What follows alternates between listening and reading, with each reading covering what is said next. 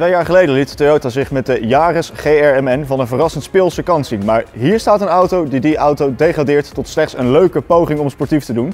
Dit is namelijk de GR Yaris en dat is niets minder dan een rallykanon voor op straat. GR. Twee letters die staan voor Gazoo Racing. Dat is de sport- en raceautodivisie van Toyota. En wie die twee letters tegenkomt op een model van het merk, die kan zich maar beter goed voorbereiden. Want meestal heb je dan te maken met een best extreem model. We kennen al de GR Supra, dat was de eerste echt volledig dedicated GR-auto. En dit is dus de GR Yaris. En die auto is zo mogelijk misschien nog wel extremer dan die Supra. Nog even wat informatie vooraf. Toyota heeft de GR Yaris niet alleen gemaakt om een leuke hot hatch aan zijn portfolio toe te voegen of om die GR-afdeling definitief op de kaart te zetten. Hij dient namelijk als homologatiemodel voor de WRC Rally Sport. Daarin wil uh, Toyota meedoen met een driedeurs Yaris en van de nieuwe Yaris is er helemaal geen driedeurs. Dus hebben ze een nieuwe koets moeten maken en dat betekent dat je moet homologeren. Ze moeten er minimaal 25.000 van maken en dat gaan ze doen ook. Nou, dat de Yaris heftig is, dat heb ik je nou al drie keer verteld. En hier ligt bewijsstuk nummer 1. En dat is een compleet nieuwe 1.6. En dat is geen 4-cilinder, maar een 3-cilinder. Dat blok dat ligt vrij uh, ver naar achteren voor een optimale gewichtsverdeling. En de accu vind je hier ook niet, die zit in de kofferbak. En die 3-pitter die levert 261 pk en 360 Nm. En dat moet je even op je in laten werken, want 261 pk uit een 3-cilinder is echt ontzettend veel. Het is direct een van de sterkste hot hatches in zijn segment en Toyota mag zich het merk noemen met ja, de sterkste 3-cilinder die in serie wordt gebouwd.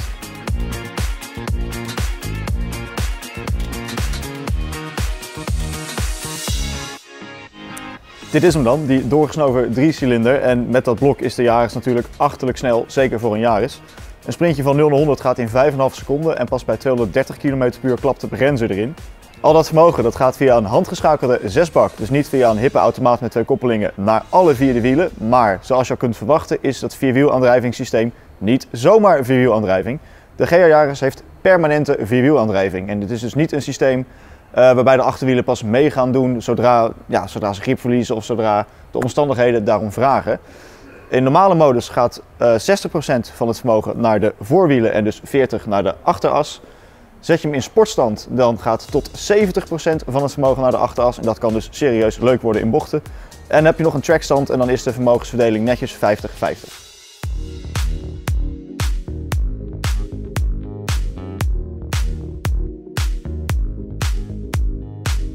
Ik had het al gezegd, met de koets van deze Jaris is iets bijzonders aan de hand. Want van de normale Jaris is dus alleen een vijfdeurs en dit is een driedeurs. En die koets die is niet gewoon wat ingekort, hij is 9 centimeter lager. Dus die daklijn die loopt veel meer af.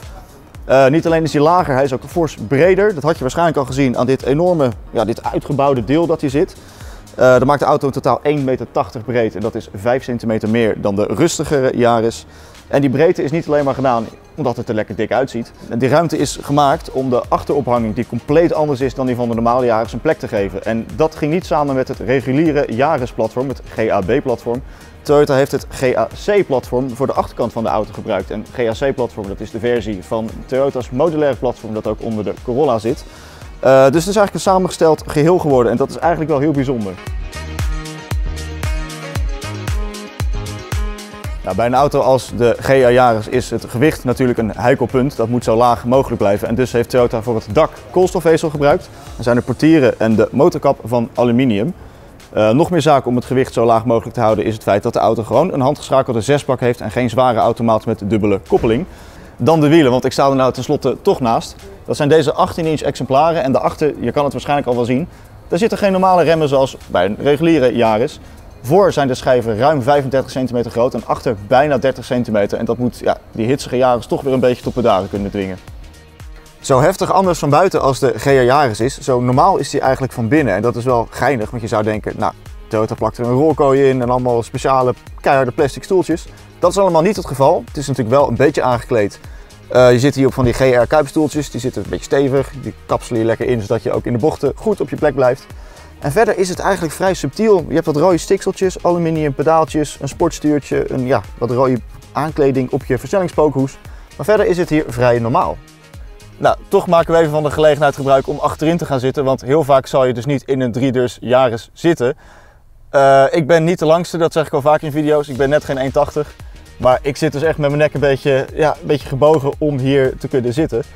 Uh, je moet niet met z'n vier op vakantie willen, maar Toyota zegt wel dat de auto in principe comfortabel genoeg moet zijn en ook de voorzieningen heeft om lekker naar Zuid-Frankrijk te blazen. Ik raad je aan om dat lekker voor in de auto te doen. Mocht je na het zien van deze video nou ontzettend hebberig geworden zijn, doe rustig aan, want de Yaris komt pas in de tweede helft van dit jaar op de markt. Een prijs die hebben we ook nog niet en we kunnen ons zo voorstellen dat die niet al te mals gaat zijn.